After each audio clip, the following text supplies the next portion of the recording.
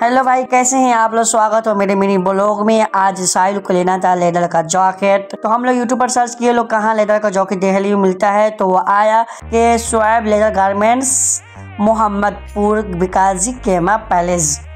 तो ये गूगल पर सर्च किया लो जॉकेट बहुत ही अच्छा था। हम लोग यहाँ पर पहुँच गए, लोग विकाजी केमा पैलेस में।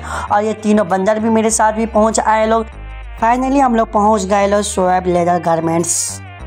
यहाँ पर जो वीडियो हम लोग देखे थे, यहाँ के जो ऑनर है, उनको दिखाए लोग, वो जॉकेट निकाले भी और दाम बहुत ही ज़्यादा बता रहे थे, चार हज़ार दाम बता रहे थे। इतना जीत किए लो तो दाम कम किए, दाम लगाए थे। इतना जीत करने के बाद दाम कम किए तो हम लोग लिए लो साढ़े अट्ठाईस सौ का जॉकेट बहुत ही अच्छा जॉकेट था।